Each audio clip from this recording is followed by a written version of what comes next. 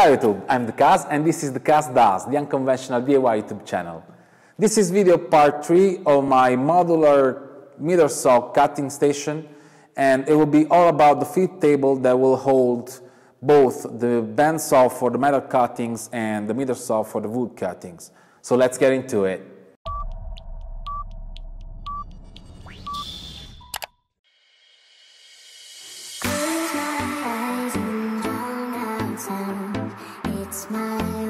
to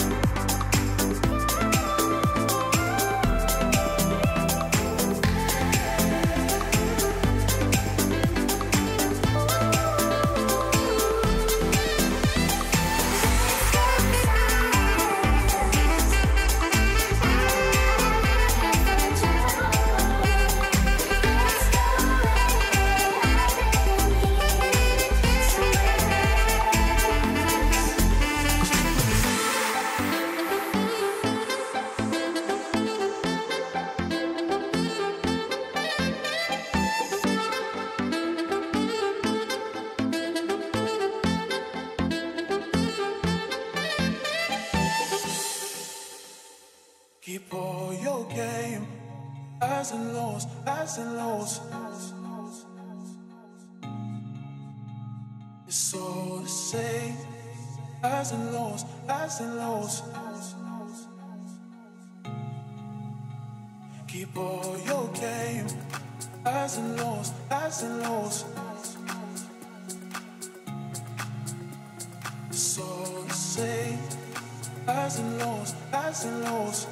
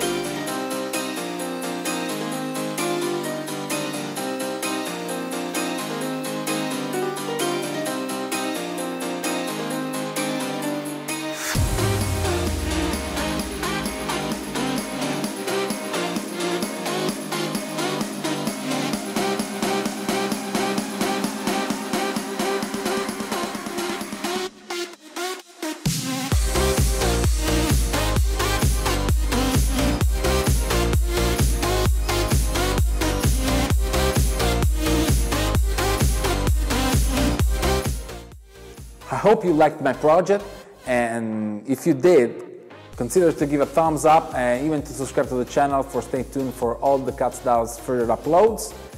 And in the next episode, we will build all the drawers and a little electronic fancy surprise, but you will see it. But now, for the hashtag what you suggest, if you've considered to make something different or to give me any suggestion or any upgrade suggestion, I will surely be proud to reply to all your comments in the section comment below.